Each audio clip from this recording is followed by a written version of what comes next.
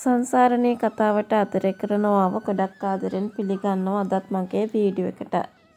ඉතින් මම අද වීඩියෝ එකේ නොත් එක කතා කරන්න බලාපොරොත්තුවක් තබා ගත්තේ.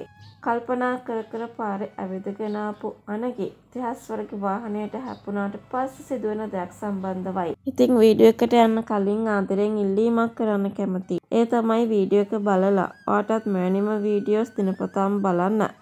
කැමැත්තක් තිබෙනවා නම් එහෙනම් ඔයාටත් පුළුවන් අනිවාර්යයෙන්ම මගේ channel එක subscribe කරලා මාත් එක්ක සම්බන්ධ වෙන්න. ඒ වගේම like කරන්න comment කරන්න තවත් නොදන්න යාළුවෙකුට දැනගන්න විශේෂයෙන්ම share කරන්නත් අමතක කරන්න එපා කියලා මම අද වීඩියෝ එකෙන් ඉල්ලීමක් කරනවා.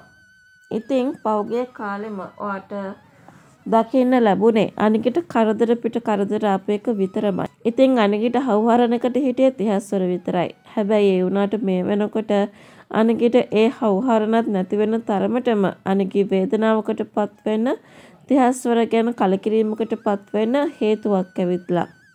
ඉතින් මේ හේතුව හදලා දුන්නේ ලොයිඩ්. මෙතන තිහස්වරගේ වැරද්දක් නැතුව වුණත් හැබැයි ඉතින් තිහස්වර වැරද්දක් කළා වගේම සිදුවෙලා හවරයි.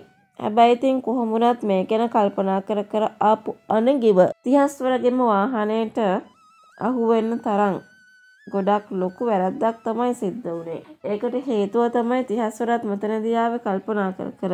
ඉතින් මේ කල්පනා කරන්න හේතුව විශේෂයෙන්ම දන්නවනේ උපලි ෆෝන් එකෙන් කෝල් එකක් අරගෙන හිටපු හින්දා එයා බැන බැන තමයි ආවේ අනිගිට. ඉතින් එයා කේන්තියෙන් ෆෝන් එක චුට්ටක් පැත්තකට විසි කරලා හිටපු අවස්ථාවක් ඒක. ඉතින් ඒ නිසා තමයි අනිකේ එනවා දැක්කේ නැත්තේ. ඉතින් කොහොම වුණත් අනිකේ හොඳ පාරක් තමයි වැදුනේ. එයාට මොකද වෙන්නේ කියලා ඔයා දැන් කල්පනා කරනවා ඇති කියලා මං විශ්වාස කරනවා.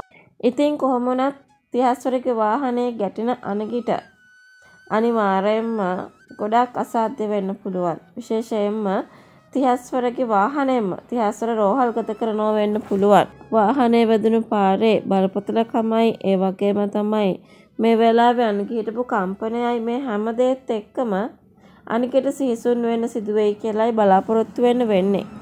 තිහස්වරම අනිකි වරගෙන රෝහල් ගත වෙයි කියලා බලාපොරොත්තු වෙන්න පුළුවන්. ඉතින් හැබැයි අනිකිට ලොකු අමාරුවක් නැති වේවි. එයාට ස්පිරිතාලෙ ගිහිල්ලා බෙහෙත් කරාට පස්සේ දවස් කීපයකින් සුව වෙන ආකාරය අපිට දකින්නත් ලැබේවි කියලා බලාපොරොත්තුවක් තබාගත හැකි කියලයි මම මේ වීඩියෝ එකෙන් මතක් කරන්නේ.